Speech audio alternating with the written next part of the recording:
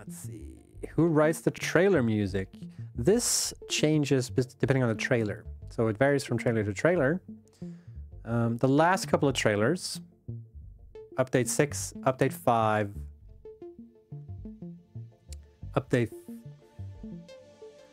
Actually, since update 3, we've had um, oh, Dennis, who who is part of.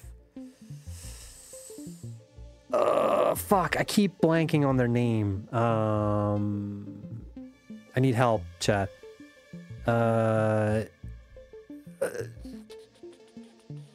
Ghostwood Empire, thank you, Andrew. Uh, Ghostwood Empire has made the the. Uh, actually, it's but Dennis like Ghostwood Empire is the band that Dennis is part part of uh, with his uh, with his uh, partner, I believe. Um, but uh, Dennis has been part of making the music for every trailer since Update 3, essentially.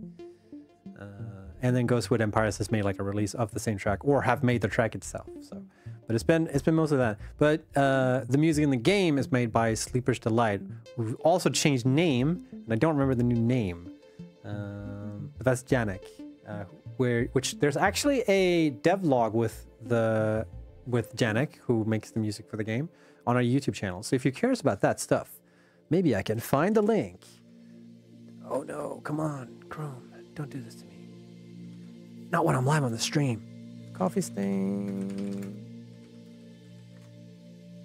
Here we go. Developer highlight, music.